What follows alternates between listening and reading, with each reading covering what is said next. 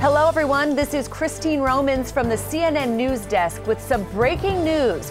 We're getting word that Iowa State University is about to make a major announcement today.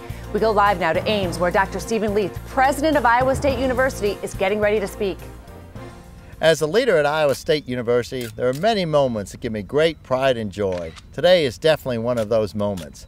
I'm thrilled to announce the acceptance of a wonderful new addition to the Cyclone family. Congratulations, you're a Cyclone. Let the adventure begin. Wow, truly exciting news for Iowa State. I'm told now that Cyclone head football coach Paul Rhoads is making a statement. Let's go live to Jack Trice Stadium. I couldn't believe it when I heard this news. We are so proud to welcome our newest member of the Cyclone Nation. The next four years are going to be packed with excitement. I guarantee we have a winner here. This is major news.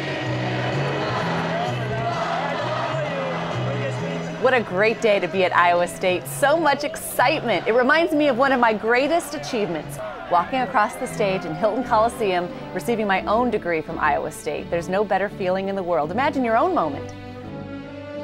Congratulations on your admission to Iowa State University. Enjoy your adventure.